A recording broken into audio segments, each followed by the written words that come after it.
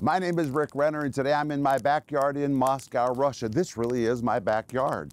And we've built this big fire because right now I'm talking to you about spiritual fire. Are you on fire for the Lord? Do you know how to stir up the fire in your heart? To keep the fire burning, you need the right fuel. And one of the fuels you need is humility. The Bible says God resists the proud, but He gives grace unto the humble. He is attracted to the humble. And when people are walking in humility, it causes the fire of God in their heart to come alive.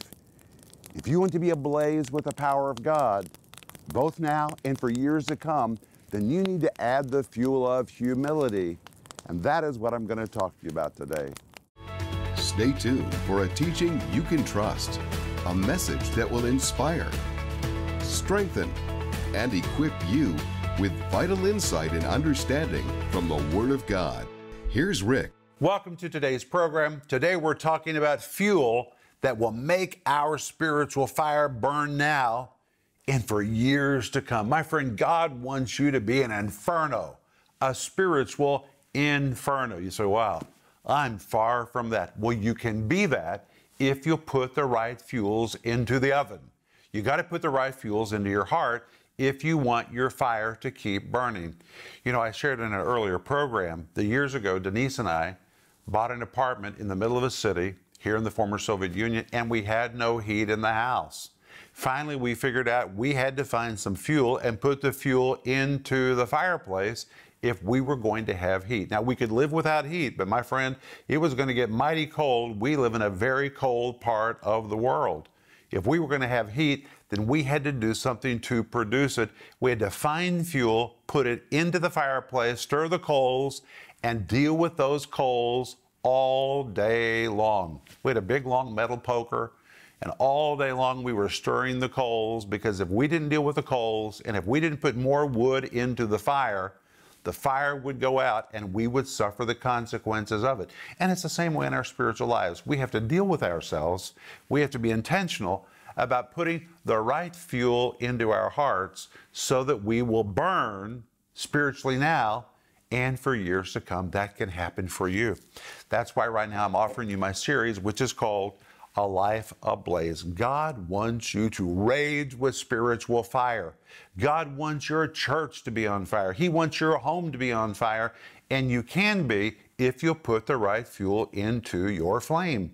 That's what you'll learn in this wonderful 10 part series that comes in multiple formats. And we're also offering you my book right now called A Life Ablaze, the same name, 448 pages, just loaded. It is jam packed with information revelation, divine insight, practical counsel about where to get spiritual fuel, how to put it inside you, so you can retain your fire or get back your fire, stir up your fire. You can become a life ablaze.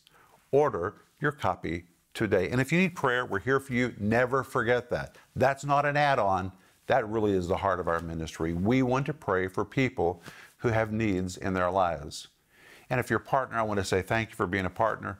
You're making a difference in other people's lives. You and me together, we are fulfilling Proverbs 10:21, which says, "The lips of the righteous feed many together." We're feeding many people the wonderful Word of God. And if you're not a partner, please pray about joining us as a partner. Together, we can really make an impact in the kingdom of God. That's what this is all about. But today, we're talking about adding fuel to your fire. And today, we're going to discuss the next fuel you need to have. So far, we've seen that we need to add the Bible to our fire. We need to add prayer to our fire. The work of the Holy Spirit needs to be added to our fire. We need to add worship to our fire. We need to add generosity to our fire. In the last program, we saw that we need to add holiness to our fire. And today, we're going to talk about the next fuel. And the next fuel is humility. You say, humility is a fuel? Absolutely. I'm going to show you in Scripture today. God is attracted to humility. When a person possesses biblical humility, God is attracted to that like metal to a magnet. Now, notice I said biblical humility. I'm not talking about putting yourself down or berating yourself or belittling yourself. Don't do that. That's a work of the flesh. That's not biblical humility. I'm going to show you what is biblical humility, but you're going to see in Scripture today when a person possesses biblical humility, God comes to that person. God's fire comes to that person. It literally sets the heart ablaze when you possess biblical humility. But let's begin with our verse today in 2 Timothy chapter 1 verse 6 where we find that Timothy's fire was on a low burn. Well, the fire doesn't have to go out. Even if your fire is burning low, you can do something intentionally to get it burning again. And that's what we read in 2 Timothy 1 6, where Paul says, Wherefore I put thee in remembrance that thou stir up the gift of God which is in thee by the putting on of my hands. According to this verse, there's something you can do to stir up the fire of God, the gift of God that is in you. You can throw another log on the flame so that you begin burning again. You can stir it up. And today we're going to look at humility. But let me begin by saying pride is fatal. Pride is so fatal. I'm talking about an unhealthy pride because there's also a healthy pride. But an unhealthy pride is so fatal that you need to learn how to identify it and eliminate it. You need to uproot it from your life because if an unhealthy pride is working in you, God Himself will stand against you. That's right. That's what the Bible says. I'm going to show you that in the Bible today. In fact, I say that pride is an equal opportunity eliminator. It is an equal opportunity eliminator. Every person who operates in pride eventually is eliminated. We saw this in the case, you can see this in the case of Lucifer. Lucifer was eliminated because of his pride. You can see this in the Old Testament case of Absalom. He was eliminated because of his pride. You can see it in the case of Judas Iscariot. He was eliminated because of his pride. Pride is an equal opportunity eliminator. I found this out very early in my life when an unhealthy pride began operating in me, and I thought I was better than the pastor that I was serving. It was so crazy what I was thinking. I judged him, I condemned him. Here he had been in the ministry more than 40 years. I was young. I was in my mid 20s. I thought I was greater than him, more anointed than him. You know what? My pride eliminated me. When I was out of the picture, he was still in his pulpit. His ministry continued. Pride eliminated me. And you need to understand that's the devil's purpose. The devil wants to tempt people to get into pride because he knows when they get into pride, they will be removed from the scene. It will eliminate you and pride will quench the fire of God that is burning in your heart. In fact, pride, an unhealthy pride, is so bad that James chapter 4 verse 6 says God resists the proud. That's what it says. God resists the proud. James was writing to believers. Well, what does that word resist mean? The word resist, the Greek word antitasso, ay, ay, ay, this word antitasso is a military term that depicts the orderly arrangement of troops to successfully wage combat against the non compliant.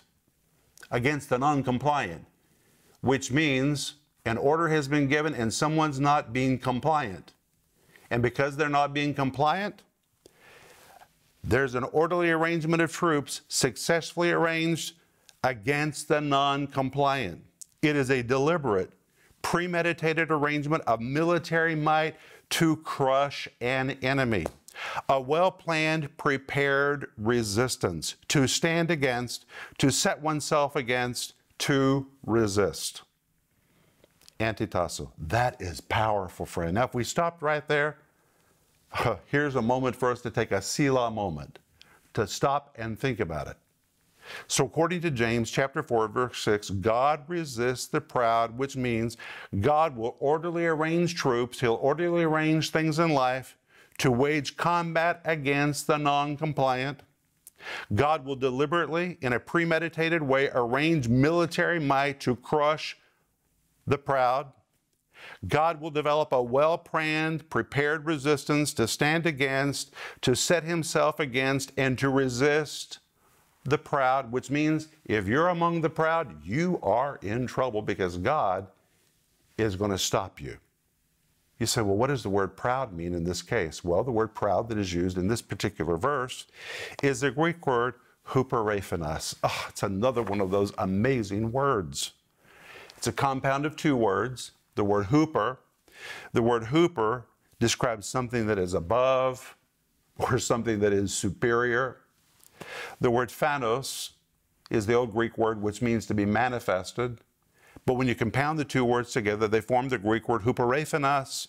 When compounded, listen, it pictures a person who sees himself above the rest of the crowd.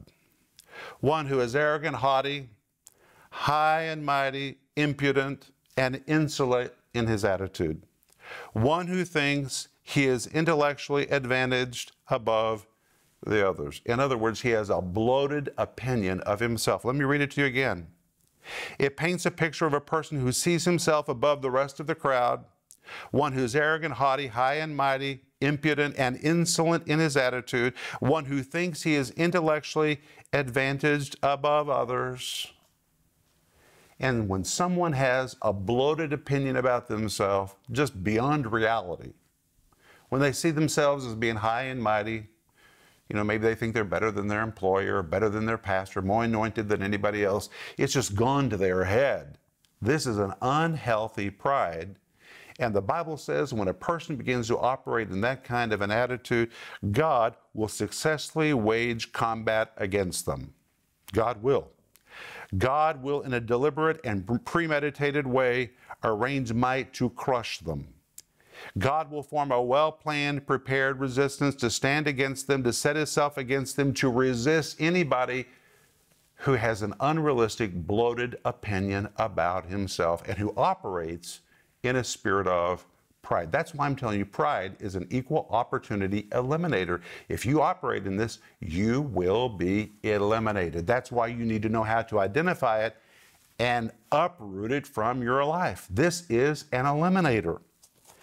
If an unhealthy pride is not halted, if an unhealthy pride is not repented of, this verse emphatically means a moment will come when God will get involved to resist it which means God has no tolerance for pride. Now, God is very patient. But my friends, when pride was found in Lucifer, he was removed. When Absalom got into pride, he was removed. When Judas Iscariot got into pride, he was eliminated. God has no tolerance for an unhealthy pride, and God will stand against the proud. And let me just tell you up front if I'm describing you, you might as well repent now. You might as well just halt it right now because if God Almighty is resisting you because of pride operating in your life, you're not going to move any further. You might as well throw in the towel and surrender and repent because you were on halt until you get rid of that pride. God will resist you. But wait a minute. Wait, wait, wait, wait, wait. What does the rest of the verse say? It says, God resists the proud, but gives grace unto the humble. Here we have it humility. It's another fuel you need to inject into your flame because God gives grace unto the humble. Well, people really don't like the word humility or the word humble because they think usually it's someone who has a bad opinion of themselves or they're just so humble, they're so meager, they're so willy washy. They're just so weak. They're just so, you know, humble. No, no, no, no, no. What does the word humble mean? Biblical humility is powerful. Listen to this. In fact, it's so powerful, God will give grace, He'll give power, He'll give fire to the person who has biblical humility. Well, then, what is biblical humility? Listen to this. It's the Greek word tapeinos. This word tapeinos describes one who has become humble, which means maybe you formerly operated in pride but through some act of God or through some change of behavior or repentance, you have become humble. To reduce one's self importance, to make small, to minimize oneself, to be willing to stoop to any measure that is needed. It really portrays a person who once was arrogant, but now has become humble. Although he previously operated in pride, He's come down from his haughty position to conform to a new behavior that God expects of him. This word humble describes one who has a modest view of himself as opposed to an exaggerated view. Wow, that is amazing. And when you come to Romans 12, verse 3, in the Amplified Version, listen to what it says about biblical humility. For by the grace of God, the unmerited favor of God given to me, I warn everyone among you not to estimate of himself or think of himself more highly than he ought. That's where he's describing pride. Not to estimate and think of himself more highly than he ought, that is, not to have an exaggerated opinion of his own importance. You see, that's the meaning of the word pride. But to rate his ability with sober judgment, each according to the degree of faith apportioned by God to him. When Paul says, a man should not estimate and think of himself more highly than he ought, those words more highly are also very important. It is the Greek word huperphroneo. That's a compound of two Greek words, the word huper and the word phroneo. These two words compounded together, it paints quite a picture. The word huper means over, above, and beyond. The word phroneo means to think. But when you compound the two words together, it forms the word huperphroneo, which means to think of oneself more highly than he ought to think, or to have an exaggerated an opinion of one's own importance. Let me give you an example. I've written a lot of books. I have a brand new book right now that I'm really wanting you to get, which is called A Life Ablaze. I love this book. I believe it will be an encouragement to you. If I said to you today, this is the best book anybody has ever written. You have never read a book like this. There's not another book like this. Of all the books you've ever read in your life, this is absolutely the best book. And by the way, I'm the best writer in the world. That would just be really bloated. Really bloated. Now, I believe in this book and I want you to have it. I believe it's going to make a difference in your life. But there are many good books. There are many, many good books out there. I read a lot of books because there are so many good writers and there's so much good information I'm reading all the time. Let me say to you, this is a good book. It'll make a difference in your life. I'm not saying that it's the best book. If I said it was the best book, then I would be thinking more highly of it and of myself than I ought to think. This would be an exaggerated view. We need to have a realistic view of ourselves. We need to have biblical humility in any area of our life. It doesn't matter what area it is, we need to have a modest view of ourselves. That's really what the scripture means when it talks about biblical humility. The word humble describes a person who has a modest view, not an exaggerated view. That's really what it means. Real humility is never self exalting, but sees itself in a balanced way. And when a person has real biblical humility, the Bible says God gives grace to that person, which means humility attracts the fire of God. It attracts the power of God, just like a metal, a magnet attracts metal. When a person has real biblical humility, God gives grace to that person. That's what the verse says.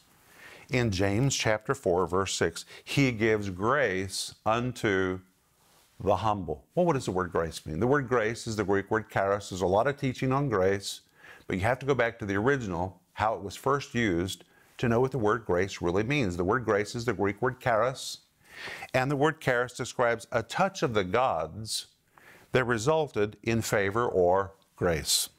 An empowering touch an empowering presence, always demonstrating itself with visible manifestation, a power that changed individuals, a power that enabled one to do what he previously could not do. Or we find that grace is God's supernatural touch of empowerment. Now, here's what happens when a person possesses biblical humility, God says, I'm going to get involved in that person's life. He will stand against the proud. He'll stand against the proud. We've already seen that clearly in Scripture. You can't fight with that verse. But when a person possesses biblical humility, God says, I like that so much, I'm going to get involved in that person's life. And God gives grace, which means He provides power, He provides everything to change that person, He provides fire, He sends that person everything that need, they need, like metal is attracted to a magnet. The presence of God comes to a person who possesses biblical humility. That's why you need to inject this fuel into your flame. Listen to what Psalm 24:18 says, "The Lord is nigh unto them that are of a broken heart and saveth such as be of a contrite spirit." It's really talking about humility. Psalm 51, verse 17 The sacrifices of God are a broken spirit, a broken and contrite heart, O God, thou wilt not despise. It's talking about biblical humility. Isaiah 57, 15 For thus saith the high and lofty one that inhabiteth eternity, whose name is holy. I dwell in the high and holy place, and with him also that is of a contrite and humble spirit, to revive the spirit of the humble and to revive the heart of the contrite ones. It's talking about biblical humility. Or Isaiah 66, verse 2 For all those things that my hand made, and all those things that have been, saith the Lord, but to this one man will I look, even to him that is of a poor and contrite spirit, and who trembleth at my word. It's talking about biblical humility. God will look to that person. God will do something with that person. And according to James chapter 4, verse 6, God will resist the proud but he will give grace to the humble, which means pride will eliminate you, but humility will promote you. So, if you want to have the fire of God working in your life, then you need to have humility. This is a fuel that you need to add to your spiritual fire. If you want God to be attracted to you, if you want God's grace to come to you, God's power to come to you, if you want God's fire to rage in your life, then you need to add humility to your heart. God will stand against the proud one, but God will give grace. He'll give a supernatural touch and everything else that is needed for that person to anybody who is humble.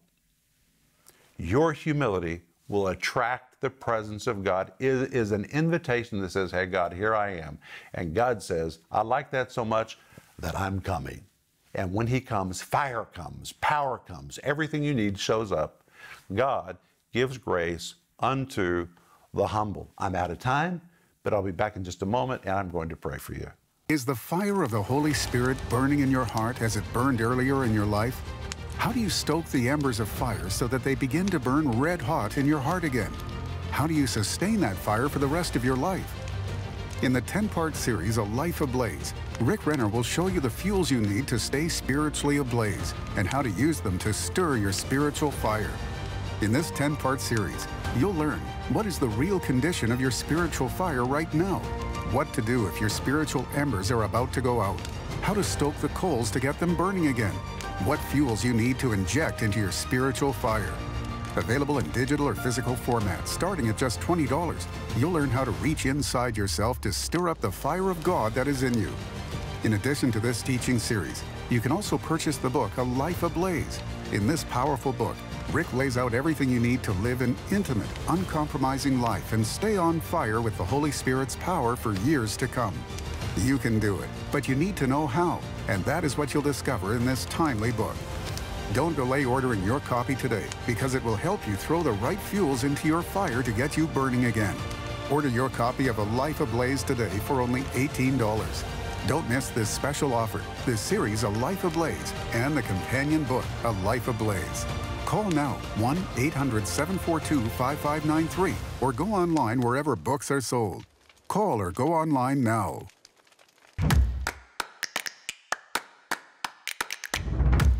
The Good News Church is one of the largest Protestant churches in the former Soviet Union. Rick Renner received a revelation to open churches in the former Soviet Union. Following his call, he moved from America to Latvia in 1993, opening the first Good News Church in Riga.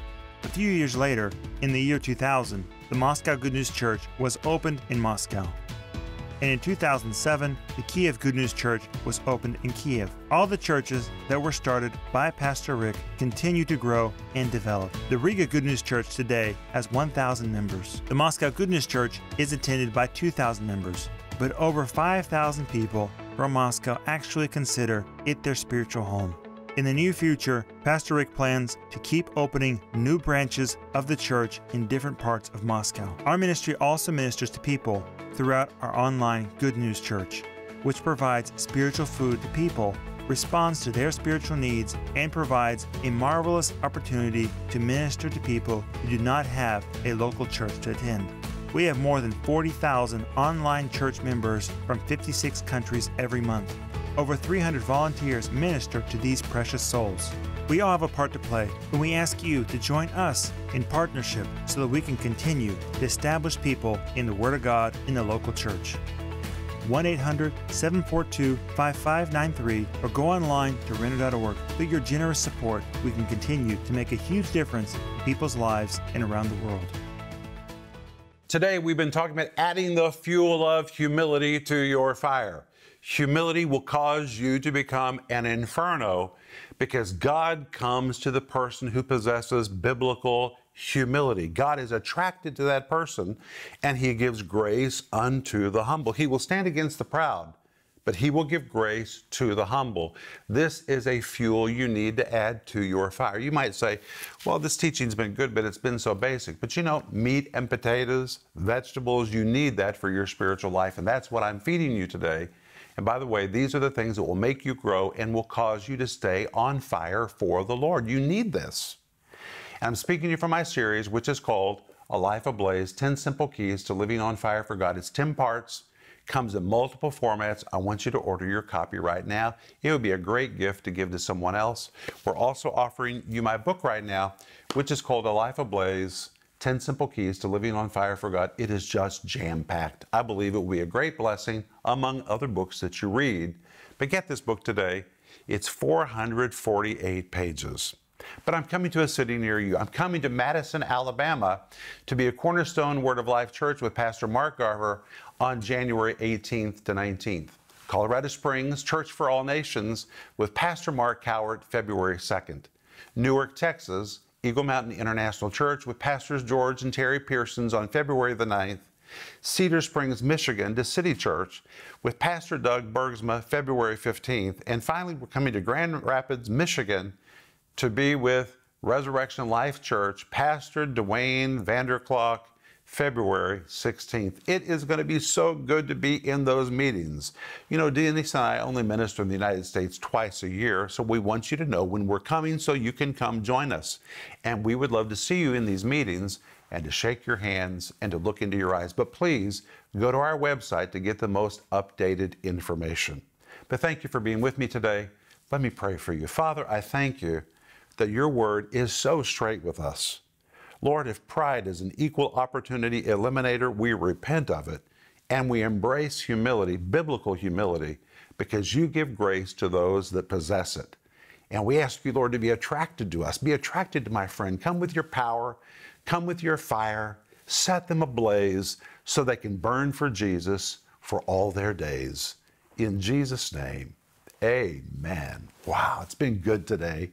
Remember Ecclesiastes 8 4, it says, Where the word of a king is, there is power. Embrace the word of God, let it release its power in you today, and I'll see you in the next program.